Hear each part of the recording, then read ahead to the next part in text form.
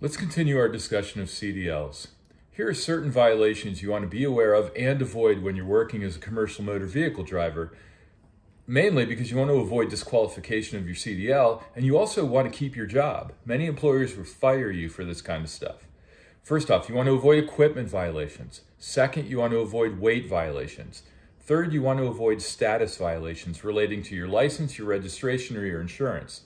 Fourth, you want to avoid speeding violations, particularly those in construction zones or school zones.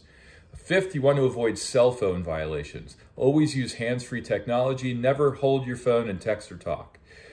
Sixth, you want to avoid lane violations. Uh, you always want to pass on the left, no tickets for improper lane change, and you always want to use the proper lane. There are many states where certain lanes are restricted and you can't drive a big truck in them. And finally, always wear your seatbelt. Seems obvious, but there it is.